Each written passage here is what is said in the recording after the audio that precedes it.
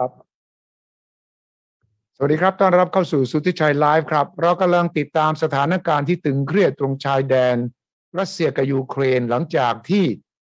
ประธานาธิบดีปูตินประกาศรับรองสองแคว้นที่แยกดินแดนออกจากยูเครน ขณะนี้อยู่ในภาวะที่ตึงเครียดพอสมควรครับ มีข่าวว่าปูตินสั่งทหารให้เข้าไปอยู่ในสองแคว้นนี้ ซึ่งเดิมอยู่ในยูเครน มี ปฏิกิริยาตอบโต้รุนแรงจากทั้งยุโรปจากทั้งประธานาธิบดีเซเลนสกี้ของยูเครนเอง จะนำไปสู่ศึกสงครามที่กว้างกว่านี้ และสหรัฐขณะนี้ปฏิกิริยาเป็นอย่างไร ผมชวนดรอดุลกำไรทองครับ ผู้เชี่ยวชาญด้าน กิจการรัสเซียมาวิเคราะห์สถานการณ์ล่าสุดสวัสดีครับดรอดุลครับ สวัสดีครับครับสวัสดีครับ ครับเราจะเรียกว่าเป็นจุดแตกหักได้หรือยังครับก็เป็นจุด เขาเรียกว่าเป็นปุ่มกดสตาร์ทเลยครับ เรียบร้อยแล้ว คือก่อนหน้านี้เนี่ยเป็นเป็นลักษณะของการวอร์มอัพหรือว่าอืมของคุณร่างกายอยู่นะครับ แต่ว่าเหตุการณ์เมื่อวานเนี่ยผมก็บอกตรงว่าค่อนข้างจะตกใจแล้วก็อืมเอ่อไม่คาดไม่ถึงเหมือนกันว่าปูตินจะตัดสินใจเร็วขนาดนี้ แล้วก็เดินเกมแบบนี้นะครับ ซึ่งครับซึ่งก่อนหน้านี้เนี่ยคิดว่า น่าจะเกิดแต่คิดว่าคิดว่าคงอีกนาน แต่กลายเป็นว่าเมื่อคืนนี่คือสายฟ้าแลบเลยครับ สายฟ้าแลบ เป็นการประชุมสภาความมั่นคงแห่งชาติรัสเซียที่แปลกมาก มีการออกออกอากาศด้วยนะผมนั่งดูก็ โอ้โหเท่ากับว่าปูตินต้องการให้ทั้งโลกได้รับรู้เลยนะว่า เหตุผลที่เขาต้องรับรองสองแคว้นของยูเครนเนี่ย ก็เพราะมีทั้งรัฐมนตรีกลาโหมต่างประเทศ เสนาธิการทหาร ให้รายงานมาสถานการณ์ทั้งหมดตึงเครียด เราอยู่เฉยๆไม่ได้ แล้วก็ประกาศรับรองไปเลยใช่ไหม คือมันมีมีผลทางด้านจิตวิทยานะครับอย่างที่ผมเคยบอกมาตลอดว่าปูตินเนี่ยเขาเป็นนักสื่อสารที่เก่งมากๆเลยจากการที่เขาเป็น KGB เก่านะครับก็จะรู้วิธีการทำยังไงให้ให้การสื่อสารออกมาทรงพลังนะครับ เพราะฉะนั้นเนี่ยเหตุการณ์เมื่อวานเนี่ยก็คือเป็นเหมือนกับเป็นการเปิดออกสื่อ แล้วก็เชิญทุกคนที่มีส่วนเกี่ยวข้องมาโดยเฉพาะในส่วนของหน่วยงานภาครัฐเนี่ยครับให้มาพูดแสดงความคิดเห็นแต่ละส่วนตัวจากมุมมองของตัวเองเนี่ยว่าทำไมรัสเซียจะต้องเออรับรอง เอกราชของเออสองแคว้นนี้นะครับซึ่งซึ่งการทำอย่างนี้เนี่ยมันมีมันมีนัยยะสองอย่างคือหนึ่งคือมีเหตุผลทางด้านทางด้านจิตวิทยาภายในประเทศใช่คือปูตินเนี่ยกำลังเรียกกระกระแสชาตินิยมกลับมาอืมทำให้คนรัสเซียมีความรู้สึกร่วมว่าสิ่งที่รัฐบาลทำเนี่ยทำเพื่อต้องการที่จะเอ่อรักษาความเป็นหนึ่งเดียวของรัสเซีย รักษาศักดิ์ศรีของชาติ แล้วก็ป้องกันการต่อต้านหรือว่าการไม่เห็นด้วยกับคนในประเทศที่อาจจะไม่ชอบสงครามอย่างเงี้ยครับหรือว่าไม่ชอบการประทะเพ ราะฉะนั้นเนี่ยสิ่งที่ทำเมื่อวานก็คือพยายามหาความชอบธรรมภายในประเทศด้วยเพื่อลดแรงเสียดทานการเมืองประเทศนะครับ อีกนัยยะหนึ่งก็คือเป็นนัยยะต่างประเทศก็คือเป็นการส่งสารไปยังทั่วโลก ให้ทั่วโลกได้เห็นว่ารัสเซียมาแล้วกำลังทำตรงนี้อยู่ แต่ที่สำคัญที่สุดก็คือต้องการ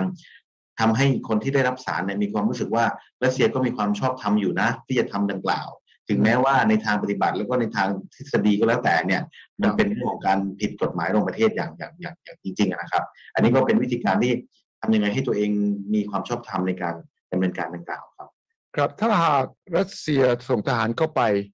ในสองแคว้นนี้เนี่ยไม่ใช่แค่ที่จะเอาพื้นที่ของสองแคว้นนี้นะเขาบอกว่า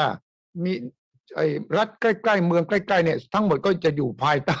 อิทธิพลหรือภายใต้ที่รัสเซียต้องการเข้าไปดูแลด้วยใช่ไหมครับ อันนี้มันเป็นจิตวิทยาอยู่แล้วครับ ก็คือถ้าที่เรารู้กันดีก็คือเป็นเรื่องของ domino effect ก็คือ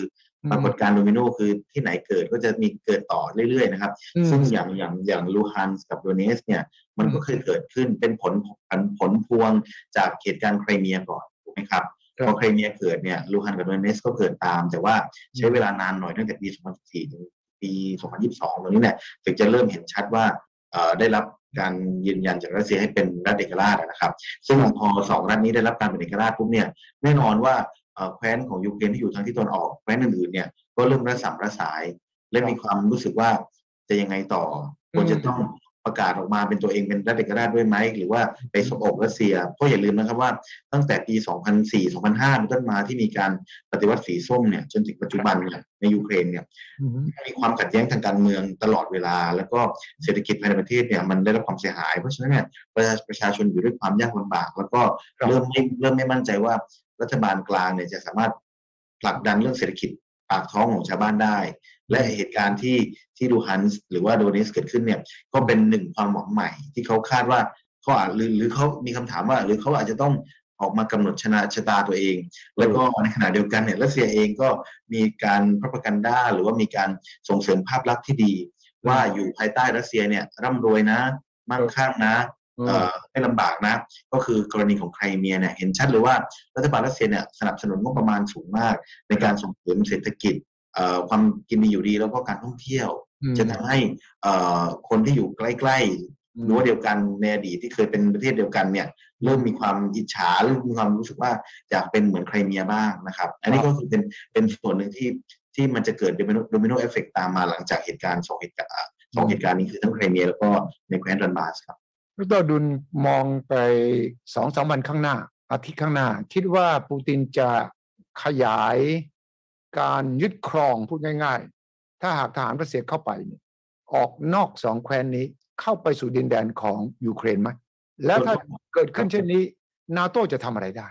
ส่วนตัวผมมองว่ารัสเซียคงไม่ไม่ไม่ขยายไปมากกว่านี้ แล้วก็คงไม่ไม่ได้ทำอะไรมากกว่านี้แล้วนะครับ เพราะว่าสิ่งที่เขาได้มาเนี่ย ผมคิดว่าสำหรับเขามันน่าจะเพียงพอแล้ว แต่ว่าแต่ว่ารอบนี้เนี่ยมันจะได้มาแล้วก็เสียไปด้วยมากกว่ารอบที่แล้วที่ที่ที่ได้ไครเมียมาแบบ ค่อนข้างจะสบายสบายตัวหน่อย แต่รอบนี้ได้มาในในสภาวะที่ค่อนข้างจะจะเหนื่อยแล้วก็เจ็บหนักเหมือนกัน โดยเฉพาะในเรื่องของการเซ็งชั่นทางเศรษฐกิจนะครับ เพราะฉะนั้นเนี่ยรอบนี้เนี่ยเอ่อผมคิดว่ารัสเซียคงยังไม่ได้ส่งกองทัพเข้าไป แค่รอโอกาสหรือรอเวลานะครับที่ที่จะมีการประทะกันถ้าเกิดรัฐบาลยูเครนเนี่ยส่งรัฐส่งกองกำลังจากรัฐบาลกลางไปปราบปรามกลุ่มนี้เนี่ยรัสเซียถึงจะส่งคนของตัวเองเข้าไปไปต่อสู้หรือไปสู้รบเพื่อปกป้องชีวิตและทรัพย์สินของคนรัสเซียที่อยู่ที่นั่น นะครับซึ่งก็คือเป็นรูปแบบเดิมนะครับ แต่ถ้าถามว่าจะส่งผลต่อการขยายดินแดนหรือไปยึดยึดดินแดนอื่นเนี่ยผมมองว่ารัสเซียไม่ไม่ไม่ทำและคงไม่กล้าขนาดนั้นที่จะทำแต่หลังจากนี้ไปเนี่ยอาจจะมีบางแคว้นแถวๆนั้นแหละครับ ครับ สถาปนาหรือประกาศตัวขึ้นมา ก็คือจะเป็นแยกเป็นด้โดวยนิสใช่ก็เป็นโดเป็นนิโดสมิโนโดมิโนใช่ domino เทอรี่ก็คือ ฉันก็ขอแยกไปอยู่กับกับแบงอิสราเอลแล้วก็ให้รัสเซียสนับสนุนด้วยอย่างนี้ รัฐบาลกลางยูเครนก็อยู่ไม่ได้เฉยๆไม่ได้สิ เพราะว่านี่ขนาดนี้เนี่ยประธานาธิบดีเซเลนสกี้ของยูเครนยังบอกว่าไม่ได้ นี่มันดินแดนของยูเครน มันก็ต้องสู้รบกันสิถ้าอย่างนั้นใช่ครับ มันมันไม่ได้อยู่แล้วครับ เพราะว่ามันมันอืมคือจะทำให้ยูเครนแตกเป็นเสียงๆซึ่งสิ่งอืที่มเซเลนสกี้ทำเนี่ย มันก็เป็นปกติวิสัยของคนเป็นผู้นำประเทศเนี่ยว่าอืมอืมว่ามันทำไม่ได้นะครับอืมซึ่งซึ่งถามว่าจะจะมีการลบกันไหมเนี่ย ผมคิดว่าก็เขาคงต้องต้องทำอะไรบางอย่าง ซึ่ง ซึ่งแน่นอนแหละอาจจะมีการส่งกองกำลังจากรัฐบาลกลางไปเพื่อไปปราบสองสองรัฐนี้นะครับครับแต่ว่านั่นแหละรัสเซียจะเข้ามาหรือเปล่านั่นสิถ้าถ้าถ้ายูเครนส่งทหารเข้าไป ปราบสองแคว้นนี้ และทหารรัสเซียอยู่ในสองแคว้นนี้แล้ว ก็ต้องสู้กันสิ ก็คิดว่านะน่าจะต้องเป็นอย่างนั้นครับ ถ้าสู้กันอย่างนั้นเอ่อยูเครนก็ต้องขอความช่วยเหลือไปที่เพื่อนบ้านทางตะวันตก ใช่ก็คงต้องขอไป แต่ว่าทีนี้มันก็เป็นสเต็ปต่อไปว่า แล้วตะวันตกจะกล้าเข้ามาไหม นั่นสิ ไม่ครับเข้ามาก็ไม่ได้เข้ามาก็ลำบากไอ้ตรงนี้ใช่ครับจะยากมากสำหรับทั้งตัวไบเดนเองและสำหรับนาโตว่า อะอย่างนี้สำหรับปูตินเขาอ้างว่าเขาไม่ได้บุกยูเครน เขาเพียงแต่รับรองสองแคว้นที่ประกาศเป็นเอกราช ซึ่งมีความผูกพันกับรัสเซียมาก และเป็นสิทธิของรัสเซียที่จะรับรอง ไม่เป็น invasion ไม่ถือว่าเป็นการรุกราน ไอ้ตรงนี้ตีความกันยังไง เพราะว่าผู้นำยุโรปบางคนบอก อย่างนี้ก็ถือว่า invasion เริ่มแล้ว อย่างนี้ถือว่าการรุกรานได้เริ่มแล้ว เพราะว่ามันเป็นเขตแดนของยูเครนก่อนใช่ไหมอืมซึ่งตรงนี้เนี่ยก็ถ้าถ้าตามหลักการเนี่ยมันก็คือเป็น invasion นะครับแต่เป็นอืมเป็น invasion ที่เป็นยุคใหม่เป็น invasion ที่ที่ที่ไม่ได้ใช้กำลังเออโดยตรงเออแต่เป็น invasion ที่ใช้เรื่องของความชอบธรรมทางกฎหมายใช่มามามามามารองรับตัวเองนะครับ ซึ่งอืมถามว่าถูกต้องไหมก็ไม่ถูก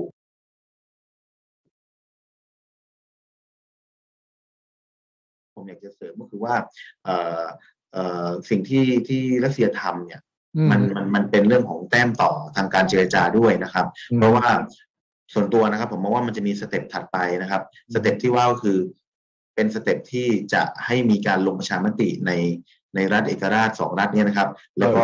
ผนวกรวมไปเป็นส่วนหนึ่งกับรัสเซียครับโอ้ถ้าอย่างนั้นก็ถือว่าเป็น invasion แล้วคือไปยึดพื้นที่ของยูเครน จะอ้างประวัติศาสตร์ จะอ้างว่ามีคนเชื้อสายรัสเซียก็ตามแต่ นี่ก็ถ้าเป็นกฎหมายระหว่างประเทศนี่ ก็ถือว่าละเมิดแล้วแหละนะแต่ว่าไม่รู้ปูตินบอกก็เนี่ยฉันต้องปกปักรักษาดินแดน หรือว่าความมั่นคงของของรัสเซียไม่ฉะนั้น รัสเซียจะถูกคุกคามครับผม อืม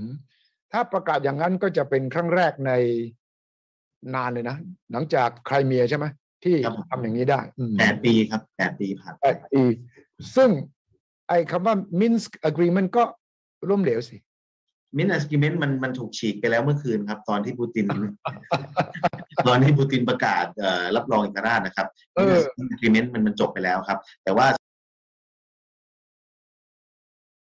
สองที่สุดแล้วก็เป็นโอกาสที่ใกล้ที่สุดแล้วที่จะต้องเอ่อ ทำเรื่องของการรับรองเอกราชของสองแคว้นเนี่ยนะครับ เพราะว่าอย่างนี้ครับก็คือเท่าที่เราเรารู้กันดีอยู่ว่าก่อนหน้าหน้านี้เนี่ยทั้งสองฝ่ายไม่มีการยอมถอยกันเลยว่า สิ่งที่ต่างฝ่ายตรงข้ามขอเนี่ยไม่เคยได้รัสเซียขอให้เอ่อยูเครนยกเลิกการเอา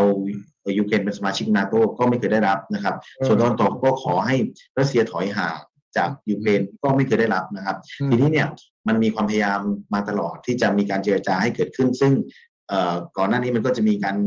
สงครามข่าวสารมาตลอดนะครับใช่เห็นว่าประเด็นก็คือว่าอ่าทางมาครงเองเนี่ยก็พยายามล็อบบี้ให้เกิดการประชุมสุดยอดผู้นำรัสเซียอเมริกา summit เพื่อที่จะให้ไบเดนกับอ่าปูตินได้เจอกันถูกไหมครับครับ แต่ว่ามันจะเจอกันภายในเร็วๆนี้ใช่ไหมครับ ซึ่งการจะไปเจอกันภายในเร็วๆนี้เนี่ย ถ้า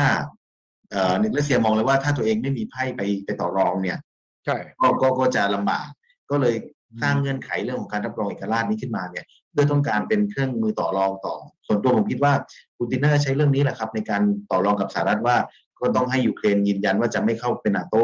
อืมถ้าอืมถ้ายังถ้ายังจะยืนยันอยู่เนี่ย มันก็จะเป็นสเต็ปถัดไปก็คือก็ค่อนข้างก็แลกกันกับการที่รัสเซียก็จะลงประชามติให้สองแคว้นนี้มาเป็นส่วนหนึ่งของรัสเซีย เออเออใช่ใช่นี่เป็นไม้ต่อรองที่สำคัญมาก แล้วก็ต้องทำเร็วด้วยนะ ครับผต้องมทำเร็วด้วย จังหวะก็สำคัญ เพราะว่าเมื่อครองเนี่ยได้ประสานแล้วแล้วทั้งสองฝ่าย บอกว่าตกลงในหลักการนะว่าจะเจอกัน แต่ยังไม่ได้บอกวันไหนที่ไหนอย่างไร ครับผมอืมปูตินก็เลยต้องจัดการ ล่าสุดนี้มีข่าวเรื่องว่าไอมาตรการแซงชั่นของทาง EU มีอะไรบ้าง ผมไม่ดูนะครับ ที่เขาเสนอกันขึ้นมา ว่าแพ็กเกจของการแซงชั่นเนี่ย ถ้าขึ้นหน้าจอก็จะเห็นนะครับ ว่าหนึ่งก็คือเป้าก็คือ those involved in illegal decision ใครก็ตามแต่ที่เกี่ยวข้องกับการตัดสินใจที่ผิดกฎหมาย การรับรองสองแคว้นนี้ของรัสยูเครนนี่แหละสองก็คือเป้าคือธนาคารที่สนับสนุนทางการเงิน ให้กับกองทัพรัสเซีย และปฏิบัติการด้านอื่น ๆ ในดินแดนสองสองแคว้นที่ประกาศเอกราชนี้ไปสามคือทาร์เก็ตความสามารถของรัฐรัสเซีย และรัฐบาลรัสเซียที่จะเข้าถึงเงินทุน และตลาดการเงินของ EU และบริการทางการเงินของ EU และจำกัดความสามารถในการที่จะระดมทุน หรือเพิ่มขยายกเรื่องการทุนก็พูดง่าย ๆ คือตัดน้ำท่อน้ำเลี้ยงทางด้านการเงิน อีกข้อหนึ่งคือ sanction เรื่องการค้า จากสองแคว้นนี้ ที่จะทั้งไปและมาจาก EU เพื่อให้แน่ใจว่าผู้ที่รับผิดชอบกรณีนี้ จะรู้สึกผลทางเศรษฐกิจที่จะตามมา เพราะการกระทำอันเนื่องมาจากการกระทำที่ผิดกฎหมาย และเป็นการบุกรุกผู้อื่นประเทศอื่นเช่นนี้ นี่คือที่ออกมาล่าสุดนะครับ ว่ามาตรการเซ็งชันเหล่านี้ ซึ่งเดิมทีรัสเซียก็เคยเจอมาอย่างนี้ไม่ใช่เหรือครับดรดุล มันก็เจออย่างมามามาตลอดอยู่แล้วนะครับแต่ว่ารอบนี้เนี่ยน่าจะเป็นแพ็กเกจแต่ว่ารอบนี้ อันนี้คือยังเป็น beginning อยู่นะครับ เป็นเป็นอืมแพ็กเกจเอ่อเรียกอะไรเป็นเป็นแพ็กเกจช่วงแรกอยู่เดี๋ยวมันจะมีแพ็กเกจใหญ่มาอีกครับ ก็คือแพ็กเกจใหญ่เนี่ยจะมาหลังจากที่เอ่อ มันมีความขัดแย้งมากกว่านี้ หรือว่าสองแคว้นที่ไปรวมกับรัสเซียเนี่ยก็จะเป็นแพ็กเกจใหญ่มาอีกอืมซึ่งก็ก็ตอนนี้ก็ต้องรอดูว่าว่ายังไง ซึ่งผมก็เข้าใจแหละว่าทางตอนตกเองก็ไม่ได้มีเครื่องมืออะไรมากนักตอนนี้ที่จะไปกดดันรัสเซีย เพราะว่าเอ่อถ้าจะใช้เวทีของสหประชาชาติผ่านผ่านคณะรัฐมนตรีความมั่นคงเนี่ยรัสเซียใช้สิทธิ์วีโต้แน่นอนใช่ซึ่งก็ซึ่งก็คือทำไม่ได้ ตอนนี้ก็คืออาศัยอยู่อยู่ในเรื่องของบทบาทของเศรษฐกิจของยุโรปในการกดดัน แต่ก็ไม่รู้ว่าจะจะจะกดดันได้ ได้ตลอดไหมเพราะว่าใช่รัสเซียรัสเซียเองเขาก็เขาก็รู้อยู่แล้วว่ามันต้องเกิดวันนี้ขึ้นนะครับเขาก็มีการเตรียมความพร้อมอยู่แล้วว่า ว่าจะจะรับมือยังไง ซึ่งซึ่งรอบนี้เนี่ยผมบอกว่าถ้ามันจะเจ็บเนี่ยมันรอบนี้มันจะไม่ใช่แค่รัสเซียฝ่ายเดียวที่เจ็บนะครับมันจะเจ็บทุกฝ่ายเลยใช่ใช่ และอีกมาตรการหนึ่งเพิ่งประกาศคือรัฐบาลเยอรมนีประกาศคล้ายๆกับไม่อนุไม่เห็นด้วยไม่ไฟเขียวเรื่อง Nord Stream 2 ครับระงับ โครงการนี้เอาไว้ ซึ่งความจริงก็รัสเซียก็รู้อยู่แล้วว่าอันนี้จะเป็นเป้าแน่นอนใช่ไหมใช่ครับก็ส่งแก๊สเนี่ยใช่ครับเรื่องเรื่องนี้ก็เป็นสิ่งที่รัสเซียก็คิดว่าคาดว่าน่าจะต้องเกี่ยวเนื่องอยู่แล้ว เพราะว่าในในในในในในตรงนี้เนี่ยมันเป็นเรื่องของเอ่อการตัดท่อน้ำเลี้ยง หรือการที่ทำให้รัสเซียจะได้เงินจากการค้าก๊าซนะครับ แต่ว่าคนที่ลงทุนเยอะที่สุดก็คือเยอรมัน แล้วก็คนที่ใช้ต้องใช้พลังงานเยอะที่สุดก็คือเยอรมันเนี่ยก็ได้รับความกระทบ จากเรื่องนี้เต็มๆนะครับ เพราะฉะนั้นเนี่ยก็ก็ต้องเป็นส่วนที่เขาจะต้องหาวิธีการจะแก้ต่ออยังไง ซึ่งรัสเซียเนี่ยคิดว่าถ้า Nord Stream สองไปต่อไม่ได้เนี่ยเขาก็ยังสามารถที่จะผันพลังงานไปยังทางเอเชีย โดยที่โดยที่ยังมีจีนอยู่นะครับ แล้วก็มีกลุ่มประเทศหลาย ๆ ประเทศในในเอเชียที่ที่พร้อมที่จะซื้อพลังงานจากรัสเซียครับผมครับทางประธานาธิบดีเซเลนสกี้ของยูเครนเองก็ปราศัยนะครับว่าเราไม่กลัวใคร เราอยู่ในดินแดนของเราเอง เราไม่กลัวใครไม่กลัวอะไรทั้งสิ้น และก็บอกว่าเชื่อว่าทางตะวันตกจะมาสนับสนุนยูเครนในการเผชิญหน้ากับรัสเซีย แล้วดูเหมือนว่าการพิจารณาจะตัดสัมพันธ์ทางการทูตกับรัสเซียด้วยนะครับ ยูเครนทำอะไรมากไม่ได้เท่าไหร่ใช่ไหมครับท่านดูคือทำไม่ได้แล้วครับ เพราะว่าส่วนที่ยูเครนน่าจะทำได้เนี่ยมันมันเลยโอกาสนั้นไปแล้วนะครับ ก็คือจริงๆเนี่ยมันถ้าถ้ามองในแง่ของของโอกาสเนี่ย ตอนนั้นในยูเครนจะต้องรีบประกาศ การที่จะยืนยันว่าตัวเองจะไม่เข้าเป็นนาโตหรือเปล่านะครับ ถ้าทำตอนนั้นเนี่ยสถานการณ์อาจจะไม่ถึงขั้นนี้ก็ได้ แต่ก็เข้าใจในมุมของยูเครนว่ายูเครนก็อาจจะมีความยากลำบากว่า แล้วถ้าประกาศว่าไม่เข้าเป็นส่วนหนึ่งของนาโตแล้วเนี่ย มันจะมีอะไรมายืนยันว่ารัสเซียจะไม่ไม่บุกเข้ามาอีกถูกไหมครับ ใช่นี่ก็เป็นเป็นความยากลำบากอย่างหนึ่งที่ที่ยูเครนเองก็ ไม่ไม่ไม่รู้ว่าจะทำยังไงเหมือนกัน แต่ก็มันมันมันท้ายที่สุดมันก็ต้องย้อนไปอดีตนะครับว่าตั้งแต่ปี2000เป็นต้นมาเนี่ยที่ยูเครนเริ่มเอาเรื่องการเมืองภายในประเทศเนี่ยมาผูกกับมหาอำนาจนะครับแล้วให้ต่างชาติเข้ามาแทรกแซงเนี่ยทั้งรัสเซียแล้วก็ทั้งทั้งยุโรปเนี่ยทั้งอเมริกาเนี่ยเลยทำให้ยูเครนไม่เป็นตัวของตัวเองและท้ายที่สุดก็คือความซวยทั้งหลายหรือความยากลำบากทั้งหลายก็มาตกที่ยูเครนโดยที่คนอื่นก็คือแค่แค่มองดูอยู่ข้างนอก แล้วก็เดือดร้อนจากข้างนอก แต่ว่าคนที่เดือดร้อนที่สุดก็คือคนที่เป็นยูเครนภายในประเทศครับอืถ้ายูเครนไม่เข้านาโตหรือไม่มีคำมั่นสัญญาจากนาโตที่สนับสนุนเนี่ยยูเครนก็ค่อนข้างโดดเดี่ยวนะใช่ครับเขาก็เขาก็โดดเดี่ยวเพราะว่าด้วยทำตำแหน่ง location เองเนี่ยเขาก็ติดรัสเซียมากเลยครับ เพราะฉะนั้นเนี่ยมันก็เหมือนกับว่าก็ต้องอยู่ภายใต้อิทธิพลของรัสเซียโดยปริยาย ซึ่งก็เป็นมาอย่างนั้นมาตลอดตั้งแต่ในยุค พระเจ้าซาร์หรือยุคสหภาพโซเวียต หรือว่าแม้แต่ในยุค 90 ในการที่ยูเครนแตกออกมาใหม่จากสหภาพโซเวียตนะครับ ครับครับนายกรัฐมนตรีอังกฤษนะครับบอริสจอห์นสันพูดในสภา วันนี้บอกว่า เราจะต้องเตรียมพร้อมสำหรับสถานการณ์ที่อังกฤษเชื่อว่า รัสเซียจะไม่หยุดแค่นี้ แล้วก็จะขยายอิทธิพลของตัวเองเพิ่มขึ้นไปอีกเนี่ยอังกฤษเองก็ดูเหมือนจะทำนายมาตลอดว่ารัสเซียบุกแน่ บุกในวันสองวันข้างหน้านี้ นี่ก่อนหน้าเมื่อคืนนี้นะครับ แล้วก็อังกฤษก็ดูเหมือนว่าจะเป็นแกนสำคัญในเกมของยุโรป ที่น่าสนใจครับดรดุลก็คือฝรั่งเศสพยายามทำตัวเป็นนักการทูตพยายามไกล่เกลี่ย แต่ว่าอังกฤษนี่อยู่ข้างอเมริกาคือแรงมาตลอด เยอรมันก็บทบาทกลางๆ มองดูว่า EU เนี่ยบทบาทเรื่องต่อรัสเซียครั้งนี้นั้นแตกกันไหม หรือว่าต่างคนต่างแบ่งหน้าที่กันเล่น คือ EU ตอนนี้เนี่ยเสียงแตกที่อย่างนี้ครับ ผมต้องบอกก่อนว่าโครงสร้างของการรวมกลุ่มในยุโรปเนี่ยมันจะมีหลายกลุ่มด้วยกัน แต่ว่ากลุ่มใหญ่ๆ ที่เราจะเห็นได้ชัดก็คือกลุ่ม EU ถูกไหมครับ เป็นกลุ่มทางทางเศรษฐกิจนะครับ ส่วนกลุ่มนาโต้เนี่ยก็จะมีเป็นกลุ่มทางด้านความมั่นคง มันก็จะมีความซ้อนทับซ้อนกันอยู่ของระหว่างสององค์กรนี้นะครับทีนี้พอพอมันเป็นอย่างนี้ปุ๊บเนี่ยมันก็จะมีกลุ่มที่เป็นฝักใฝ่เศรษฐกิจไม่สนใจหรอกว่าจะเกิดความขัดแย้งที่ไหนเนี่ยขอให้เศรษฐกิจดีเนี่ยก็จะเป็น EU เป็นเป็นยุโรปอีกกลุ่มหนึ่งไอ้กลุ่มเนี่ยจะฝักใฝ่เรื่องของความมั่นคงเรื่องการเมือง ก็จะจะมาอยู่ในหมวกของนาโตทีนี้เนี่ยมันเลยกลายเป็นว่าเสียงมันแตก เพราะว่ามันแบ่งเป็นสองฝ่ายฝ่ายการเมืองกับฝ่ายเศรษฐกิจทีนี้พอมันเป็นพอเสียงมันแตกปุ๊บเนี่ยความชัดเจนในการที่จะดำเนินนโยบายต่อต้านหรือว่าประทะกับรัสเซียหรือต่อกรกับรัสเซียเนี่ยมันเลยถูกถูกด้อยประสิทธิภาพลงก็ข้อนี้ก็เป็นปัญหา เพราะว่าคือก็ต้องชื่นชมในมุมหนึ่งของรัสเซียเหมือนกันที่ตลอดเวลาหลายปีที่ผ่านมาเนี่ยพยายามที่จะเอาตัวเองเนี่ยเข้าไปผูกกับเศรษฐกิจของยุโรปอย่างมาก จนทำให้ยุโรปเนี่ยไม่สามารถที่จะตัดขาดรัสเซียได้แบบร้อยเปอร์เซ็นต์นั่นหมายความว่า คือถ้าถ้าถ้าท้ายที่สุดเนี่ย ถ้ามันจะปะทะปะทะหรือทะเลาะกันรุนแรงจริงเนี่ย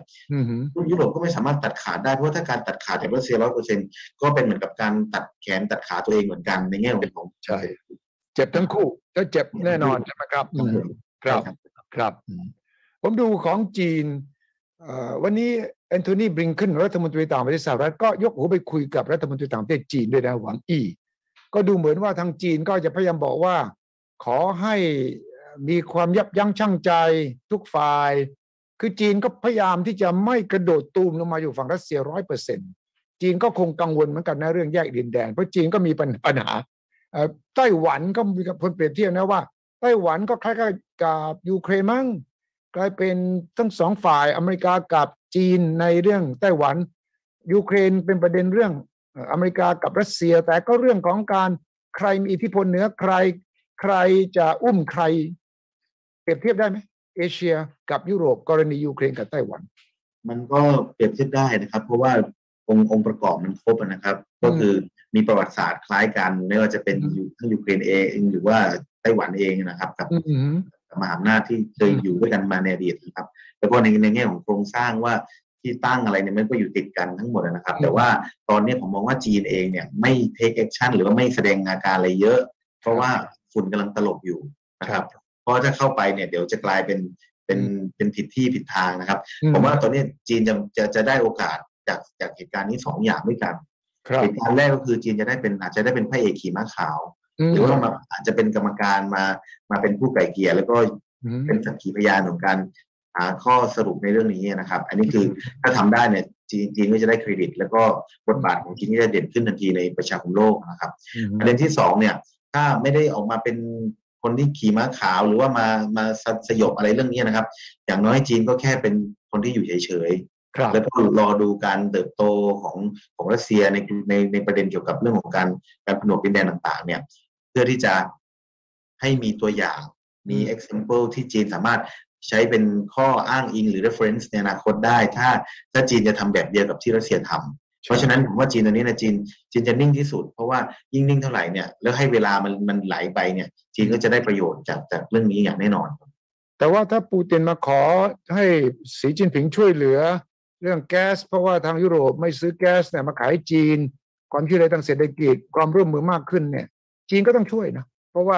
คือมิตรมิตรยามแท้มิตรยามยากเลยนะครับเนี่ยจีนต้องช่วยอยู่แล้วครับ เพราะว่าเพราะว่าคือจีนเขาจะพูดว่าเขาจะไม่แทรกแซงเรื่องการเมือง แต่ว่าเรื่องเศรษฐกิจเนี่ยเขาก็เต็มที่อยู่แล้ว แล้วก็เอ่อยิ่งยิ่งถ้ามีแก๊สมาหรือพลังงานมาขายจีนอีกเนี่ยรอบเนี้ยจีนก็สามารถพูดตรงๆนะครับ อาจจะกดราคาได้อีกในฐานะที่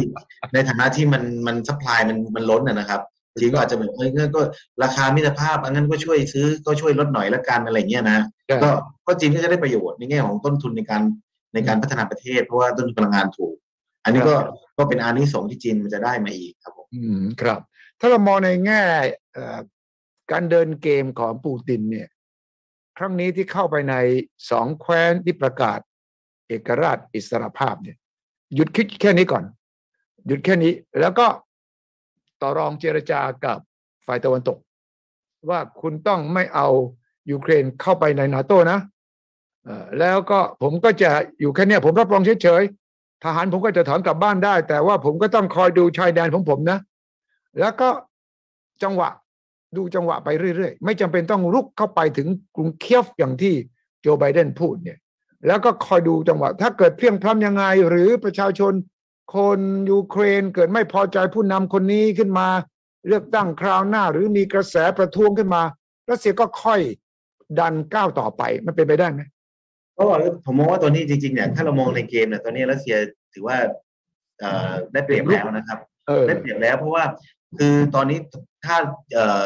รัสเซียแค่คงสถานะของการเป็นแค่ผู้ที่เอ่อรับรองเอกราชเนี่ยอืม รัสเซียได้ buffer state มาแล้วสองรัฐนะครับ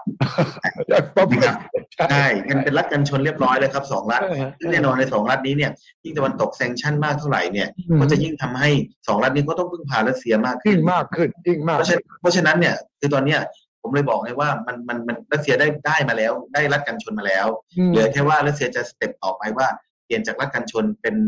เป็นส่วนหนึ่งของตัวเองเพิ่มแค่นั้นเองนะครับ ซึ่งก็ก็นี่ก็เป็นสิ่งหนึ่งที่ยากมากที่ที่จะทำให้การเจรจากันที่จะเกิดขึ้นระหว่างไบเดนกับปูตินเนี่ยมันจะเป็นไปในทางที่ที่ที่ที่ดี เพราะว่าตอนนี้เนี่ยรัสเซียถือถือไพ่เหนือกว่าในหลายๆด้าน แล้วถ้าไบเดนจะมาเจอปูตินเนี่ยจะเอาเรื่องอะไรมาต่อรองอืมเพราะว่าตอนเนี้ยผมยังนึกไม่ออกว่าไบเดนจะเอาอะไรมาต่อรองครับ ตอนนี้ก็ต้องรอดูครับไบเดนก็คงบอกว่าคุณต้องถอยออกไป และเราไม่ยอมรับสองแคว้นนี้เอ่อ คุณยอมรับไปคนเดียว นานาชาติไม่ยอมรับ ซึ่งมันก็จะกลายเป็นประเด็นในสหประชาชาติประเทศอื่นมีใครยอมรับบ้าง แต่นั่นก็เป็นเกมยาวเลยนะ เกมการทูตที่ยาวเลย ซึ่งณจุดนี้รัสเซียคงไม่แคร์เท่าไหร่ว่าประเทศอื่นจะรับรองหรือไม่สองแคว้นนี้ก็คงไม่แคร์เท่าไหร่ในขณะนี้นะตราบใดที่รัสเซียยังรับรองตัวเองเนี่ย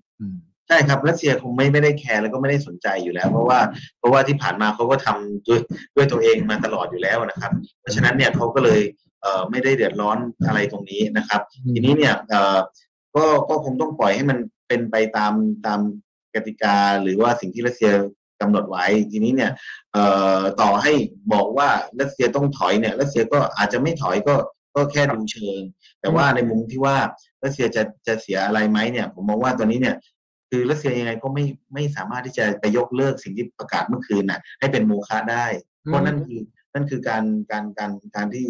ทำทำให้ตัวเองหมดความน่าเชื่อถือทันที ซึ่งผมมองว่าปูตินยังไงก็ไม่ทำอยู่แล้วครับผมครับ เมื่อคืนนี้ถ้าฟังปูตินพูดเนี่ยกล้าวมากเลยนะ พูดถึงประวัติศาสตร์ พูดถึงว่าเออเราเป็นของเรานะยูเครนในประวัติศาสตร์ทั้งหลาย อดีตประธานาธิบดีครูชชอฟใช่ไหมที่ยกโอนยูเครนให้ไครเมียให้ เป็นความผิดพลาดในอดีตซึ่ต้องแก้ไข คือสะท้อนความคิดของปูตินเรื่องที่จะมีสหภาพโซเวียต 2.0 ให้ รัสเซียกลับมายิ่งใหญ่อีกเนี่ยมันค่อนข้างชัดเจนใช่ไหมพระเจ้าดุลก็จริงๆเนี่ยคือสิ่งที่ปูตินทำเนี่ยก็มันมีนักวิเคราะห์หลายคนทั้งในรัสเซียเองก็จะบอกเลยว่า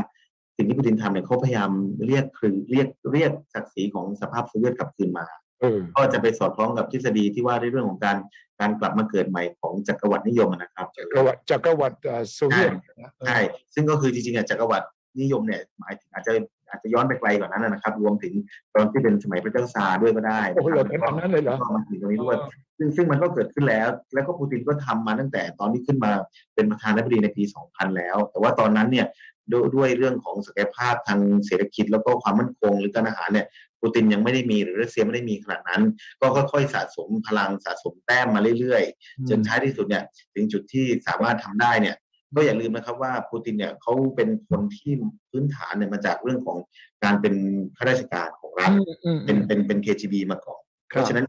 เขาจะถูกปลูกฝังในเรื่องของความรักชาติ แล้วก็ศักดิ์ศรีศักดิ์ศรีของชาวรัสเซียอย่างมากนะครับ แล้วก็จำได้ใช่ไหมครับว่าเหตุการณ์ที่ฝังใจแล้วก็ทำให้ปูตินเจ็บปวดที่สุดก็คือ วันที่กำแพงเบอร์ลินล่มสลายอ่าแล้วแล้วปูตินเนี่ยอ่ารับหน้าที่เป็น KGB อยู่เยอรมันตอนออกเนี่ยวันนั้นเนี่ย ปูตินไม่เชื่อกับสายตาตัวเองว่าจะเกิดเหตุการณ์นี้ขึ้นสหภาพโซเวียตที่ยิ่งใหญ่เนี่ยจะล่มสลายได้ เพราะฉะนั้นเนี่ยความเจ็บความฝังใจของปูตินเนี่ยมันมีมาตั้งแต่วันนั้นแล้ว แล้วถ้าวันนี้เนี่ยถ้าเขาจะสามารถกลับมาได้ในฐานะผู้นำแล้วทำให้โซเวียตยิ่งใหญ่เหมือนตอนที่เขาเป็นวัยรุ่นตอนนั้นเนี่ยถ้าเขาทำได้ทำไมเขาจะไม่ทำอันนี้คือเป็นสิ่งหนึ่งที่ที่ปูตินเนี่ยมีอะไรหลาย ๆ อย่าง ที่สะท้อนให้เห็นถึงความพยายามที่จะเรียกศักดิ์ศรีของรัสของโซเวียตหรือของรัสเซียกลับมาครับอืม ทั้งทั้งที่ความเสี่ยงก็สูงนะ เพราะว่าถ้าทำอย่างนี้มันก็เป็นการสร้างความตึงเครียด และก็อาจจะทำให้การเมืองรัสเซียต้องเล่นอีกเกมหนึ่ง ซึ่งไม่เป็นมิตรกับตะวันตกเลย และขณะเดียวกันก็เสี่ยงกับการที่เศรษฐกิจตัวเองจะถูกกระทบ แต่ว่าความใฝ่ฝัน ความฝันของปูตินนั้นอาจจะเป็นอย่างที่ดรอดุลว่าคือ ฉันไม่สนนะความยิ่งใหญ่ของ อาณาจักรจักรวรรดิของโซเวียตเนี่ย ฉันต้องเอาคืนมาให้ได้ เพราะตอนที่วันที่ฉันเห็นกำแพงเบอร์ลิน ล่มสลายมันหนึ่งเก้าแปดเก้าใช่ไหมตอนนั้นเขาอยู่ใช่ครับเดรสเดนใช่ไหมอยู่เดรสเดนครับอยู่เดรสเดนเออเป็นหัวหน้า KGB ที่นั่น ครับผม แล้วเขาก็ตกใจมากใช่ไหมช็อกเลย เพราะว่าเขาเขาคิดไม่เขาคิดไม่ถึงว่ามันจะเกิดเหตุการณ์นั้น แล้วเขาก็ไม่คิดต่อว่ามันจะลามไปถึงการที่ทำให้โซเวียตล่มสลาย เออครับผมอืม แล้วเขากล้าวิพากษ์วิจารณ์อดีตผู้นำของสหภาพโซเวียตที่ปล่อยให้ยูเครน ปล่อยให้ไครเมียเข้าไปอยู่ในอีกด้านหนึ่งเหรอใช่ครับก็ก็วิพากษ์วิพากษ์วิจารณ์ว่าสิ่งที่ครุสชอฟทำเนี่ยทำเพื่อต้องการที่จะเอ่อเขาเรียกอะไร ให้ให้มีการ remark เอาไว้ในประวัติศาสตร์เนื่องจากว่าครุสชอฟเนี่ยเป็นคนยูเครนแค่นั้นเอง แต่ว่าตอนที่ตอนที่ครุสชอฟทำตอนนั้นเนี่ยไม่มีใครรู้ ไม่มีใครคิดว่าในอนาคตเนี่ยมันจะไม่มีสหภาพโซเวียตอยู่แล้ว ก็แค่เป็นการเป็นการแบ่งดิวิชันหรือว่าการจัดสรรโอนจากจังหวัดนี้อำเภอนี้ไปอยู่กับอีกจังหวัดหนึ่งแค่นั้นเอง ก็ยังอยู่ในเครือข่ายสหภาพยัโซอยู่เวียตอยู่ทัพโซเวียตอยู่แค่นั้นเองอ๋อแต่เขาไม่ได้คิดเนี่ยว่าในอนาคตอีกเจ็ดสิบแปดสิบปีเนี่ยมันจะ แตกออกมาเป็นสิบห้าประเทศ แล้วไอ้จังหวัดหรืออำเภอนั้นที่เคยเป็นส่วนหนึ่งของของจักรวรรดิเดิมเนี่ยมันจะกลายไปเป็นอีกประเทศใหม่อืมมันก็เลยกลายเป็นเป็นการทับซ้อนทางประวัติศาสตร์ด้วยครับ ครับ แต่สิ่งที่จะตามมาก็คือถ้าหากปูตินเอารัสเซียเข้าไปมีอิทธิพลในยูเครน ประเทศที่เป็นเพื่อนบ้านติดกับยูเครนทางด้านตะวันตกก็จะต้องกังวลแล้วล่ะโปแลนด์เช็กเอ่อโครเอเชียโรมาเนียโรมาเนียทั้งหลายแหละแล้วก็ Baltic states ทั้งสามเนี่ยก็จะเริ่มเอ่ออาการความระแวงสงสัย การพยายามที่จะจัดการซึ่งกันและกันเนี่ยมันก็จะสูงขึ้นไอ้ความไม่ไร้เสถียรภาพของยุโรปตะวันออกตะวันตกก็จะสูงขึ้นอีกนะใช่ครับ เพราะว่าประวัติศาสตร์มันมันมีความเจ็บปวดมาเยอะในโดยเฉพาะในดินแดนตรงนี้นะครับอืมเอ่อโรมาเนียโปแลนด์อืมเอ่อบัลแกเรียฮังการีแถวเนี้ยนะครับ ใช่ครับอืมฮังการีเนี่ยคือมันมีเป็นเป็นพื้นที่แห่งความขัดแย้งของยุโรปมาโดยตลอดนะครับ เพราะฉะนั้นเนี่ยแล้วก็เขาจะมีบาดแผลแล้วก็ความเจ็บเดี๋ยวว่าเจ็บจำกับสิ่งที่จักรวรรดิรัสเซียเคยทำให้กับเขาอะนะครับ เพราะฉะนั้นเนี่ยนี่คือเหตุผลว่าทำไมยิ่งรัสเซียขยายอาณาเขตหรือว่าอิทธิพลมากขึ้นเนี่ยเขายิ่งมีความกลัวว่ามันจะมาถึงเขานะครับ ซึ่งซึ่งซึ่งผมมองว่า แต่ผมก็มองว่ารัสเซียเองก็รู้ตัวดีว่าท้ายที่สุดอะตัวเองก็ไม่สามารถที่จะไปครอบครองหรือยึดครองยุโรปได้ทั้งหมด เพราะว่า เพราะว่าเขาก็มีข้อจำกัดอืมแล้วก็มีบทเรียนมาแล้วว่าในอดีตเนี่ย ถึงแม้จะส่งกำลังพลทหารไปปกครองเช็กโกสโลวาเกีย สโลวีเนีย หรือว่าโรมาเนียโปแลนด์อะไรก็แล้วแต่เนี่ยท้ายที่สุดประเทศเหล่านี้เขาก็เป็นเอกราชอยู่ดีอืมนะครับ เพราะฉะนั้นผมโดยส่วนตัวผมมองว่ารัสเซียเนี่ยไม่ได้มองไปไกลถึงถึงถึงตรงยุโรปตะวันออกทั้งหมด แต่ตอนนี้อาจจะมองไปไกลแค่เอายูเครนก่อนนะครับ แล้วก็เอากลุ่มที่เป็นกลุ่มสลาวิก หรือว่ากลุ่มค นเผ่าชาวรุสก่อนก็คือหลักๆก็จะมียูเครนเบลารุสรัสเซีย เหล่านี้เนี่ยเป็นกลุ่มที่ชาติพันธุ์ใกล้ชิดเขาที่สุดแล้วก็มีประวัติศาสตร์ร่วมกันมากที่สุดก่อนอืมแล้ว step ถัดไปเนี่ยก็ค่อยว่ากันอีกที แต่คิดว่า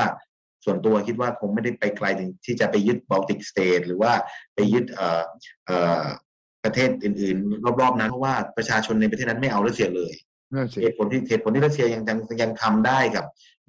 ยูเครนตอนออกโดโดโดดอนบาสลูฮันหรือโดเนสเนี่ย เพราะว่ามันยังมีเสียงสนับสนุนจากคนในท้องที่อยู่ครับในพื้นที่อืมครับ แต่มันก็จะทำให้เกิดบรรยากาศเหมือนสงครามเย็น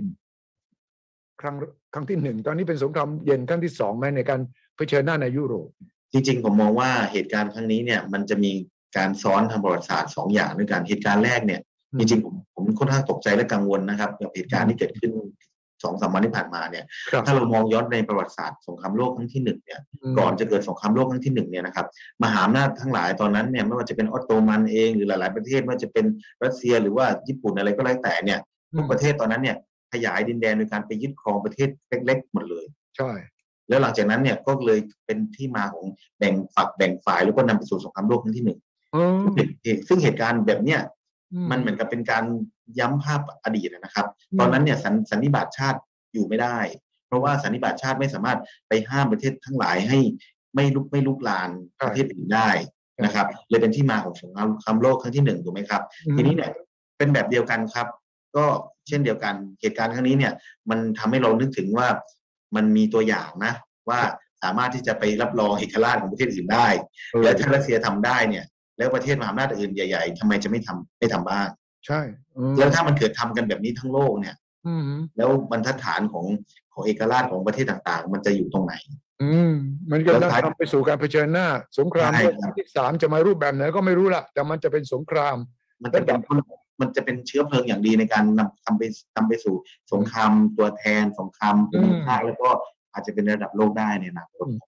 เพราะว่าที่น่ากลัวคือวันก่อนปูตินก็ให้ซ้อมเอ่อขีปนาวุธนิวเคลียร์ด้วยนะ ใช่ไหมครับใช่ครับเออเป็นการส่งสัญญาณใช่ไหมว่าเออถ้าจำเป็นเนี่ย นี่ก็คือสิ่งที่ผมมีอยู่ในมือนะเอออืมครับก็ก็เป็นการขู่ในเชิงจิตวิทยา แล้วก็ทางยุทธศาสตร์ที่ที่เขาก็ทำกันอยู่แล้วนะครับ แต่ว่าก็ก็ก็คงคงไม่ได้ใช้จริงหรอกเพราะว่าอืมเอ่อโลกยุคใหม่เนี่ยด้วยด้วยความที่เทคโนโลยีอาวุธมันไปไกลแล้วความรุนแรงมันเยอะเนี่ย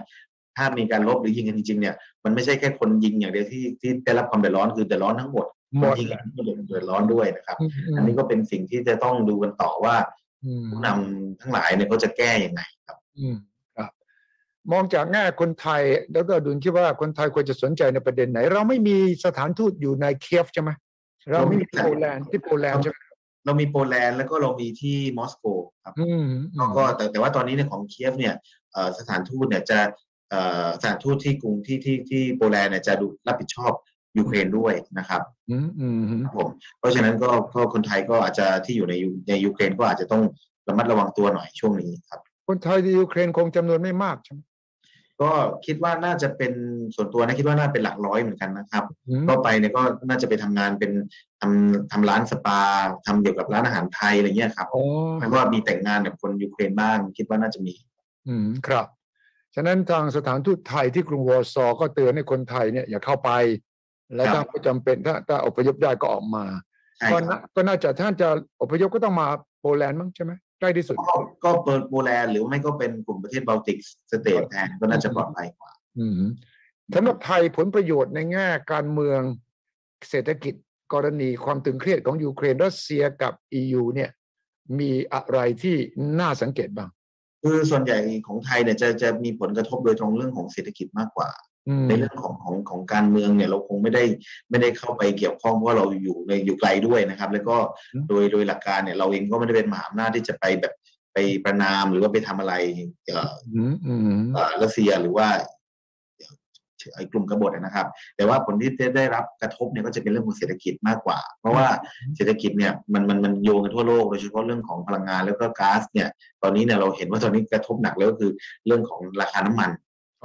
ที่สูงขึ้นมากๆนะครับ ซึ่งซึ่งผู้ประกอบการไทยเองก็เดือดร้อนนะครับ จากเหตุการณ์นี้แล้วก็อีกเหตุการณ์หนึงคือเรื่องของตลาดลงทุนตลาดทรัพย์สินทั้งหลายที่เป็นของทั่วโลกตลาดหุ้นทั้งหลายเนี่ยก็ได้รับผลกระทบนะครับ เพราะว่ามันมันไม่มันมีความไม่แน่นอน ส่วนถ้าเป็นเป็นเป็นผลกระทบโดยตรงเนี่ยก็อาจจะเป็นบริษัทหรือว่าร้านค้าหรือว่าผู้ประกอบการที่มี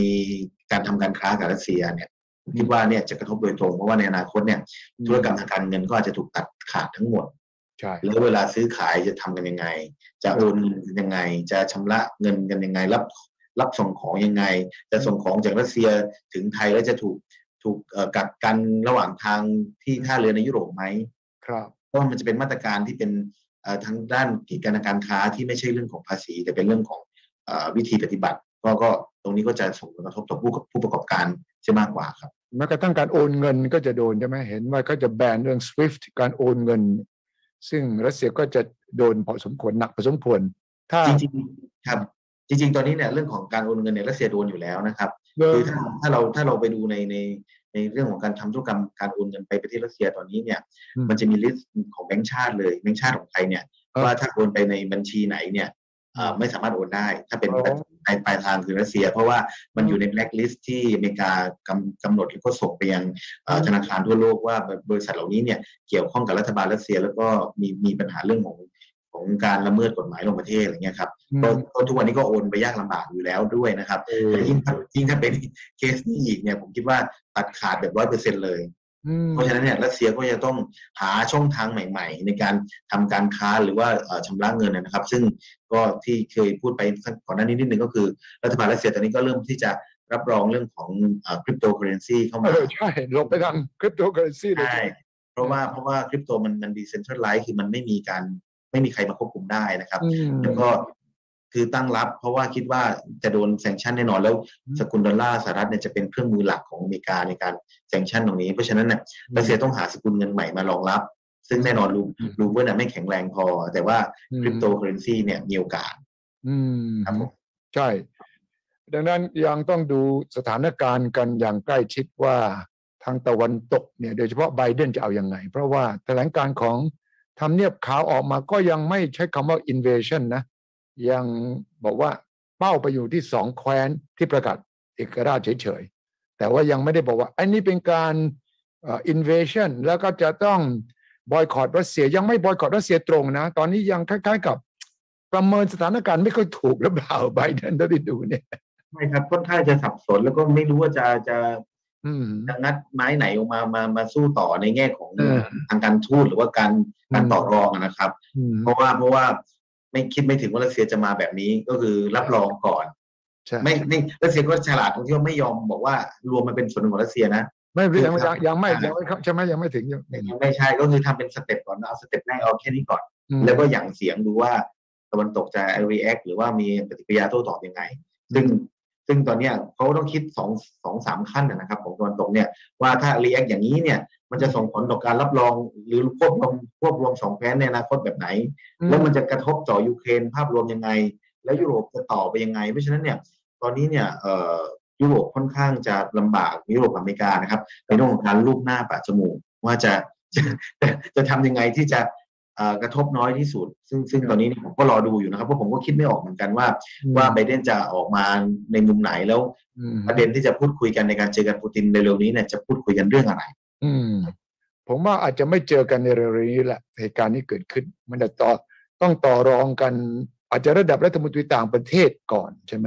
ที่จะคิดเหมือนกัน คิดเหมือนกันครับว่าคงเหตุการณ์เมื่อคืนเนี่ยมันทำให้แต้มต่อของสหรัฐมันหายไปแล้ว เพราะฉะนั้นเนี่ยถ้าไปคุยกันตอนนี้เนี่ยสหรัฐก็เหมือนไม่มีทางไม่มีทางเลือกมากนัก ก็ก็คุยก็เสียเปรียบ ผมคิดว่าคงคงยังไม่ไม่คุยก่อน คงจะผ่านช่องทางการทูตไปก่อนทางรัฐมนตรีต่างประเทศนะครับ แล้วเดี๋ยวขอขอเวลาคิดนิดนึงว่าจะเอาอะไรมาต่อรอง แล้วเดี๋ยวไปนัดค่อยนัดกันใหม่อีกทีหนึ่งคิดว่าจะนั้นเพราะว่าผมคิดว่าเดิมที่ไบเดนนาโตเนี่ยเขาคงประเมินว่าปูตินจะเดินแรงกว่านี้จะลุยเข้าไป แล้วก็อาอย่างนั้นน่ะซัดกันแซงชั่นกันเต็มที่ได้ แต่นี่ปูตินเล่นขยับทีละก้าวนี่ก้าวนี้ คุณเล่นอะไรผมมากไม่ได้ เพราะว่ามันเป็นเรื่องปกติที่ผมรับรองสองแคว้นนี้ทุกคนก็รู้ว่า ผมใกล้ชิดสนิทสนมเมื่อเข้ามานานแล้ว แล้วก็ไอการประชุมสภาความมั่นคงแห่งชาติ ก็มีเหตุผลต่างๆ ในแง่ความมั่นคงเศรษฐกิจแง่สังคมของรัสเซียเนี่ยก็ทุกฝ่ายออกมาวิเคราะห์ให้ฟังแล้วนี่ปูตินไม่ได้พูดเองด้วยซ้ำไปบอกนี่เป็นคนของผม เขาไปที่เกิดเหตุแล้วเขาก็วิเคราะห์ให้ฟัง มีระเบิดลงมาในเขต ของรัสเซียด้วย แล้วก็ยังมีทหารยูเครนส่งเข้ามาเป็นชิดชายแดนหลายหมื่นคน มีอะไรนะสบโทใช่ไหมมีมือก่อวินาศกรรมหลุดเข้ามาด้วยนี่ คือเหตุผลทั้งหมดเนี่ยทำให้ปูตินบอกเห็นไหม ผมกำลังทำเพื่อป้องกันตัวเรา ผมเองมันไม่ได้ลุกรานใครอะไรทำนองนั้นจะไหมครับผมใช่เลยครับ นี่แหละครับก็คือเป็นการเลือกใช้สถานการณ์ แล้วก็หาความชอบธรรมโดยพยายาม คือไม่พูดเองว่าตัวเองถูก แต่ว่าพยายามให้ให้คนอื่นมาพูดว่าตัวเองถูก แล้วก็ใช้เหตุการณ์ประกอบ ซึ่งก็เป็นเป็นสไตล์ในการการทำโฆษณาชวนเชื่อของปูตินอยู่แล้วในในในแบบนี้นะครับเออใช่แล้วคนรัสเซียที่ชอบปูตินอยู่แล้วก็คงบอกนี่ไงผู้นำของเราต้องเป็นอย่างนี้นะฝ่ายต่อต้านในรัสเซียล่ะ จะมีแรงแค่ไหนไหมที่จะบอกว่าเฮ้ยปูตินอยู่ทำอย่างนี้ไม่ได้ มียังเหลือไหมนักการเมืองฝ่ายค้าน จริงๆเนี่ยนักการเมืองฝ่ายค้านผมมองว่าอาจจะไม่ได้มีบทบาทมากนะครับ แต่ว่าบทบาทที่รุนแรงแล้วก็สามารถต่อต้านรัฐบาลรัสเซียได้ตัวนี้คือ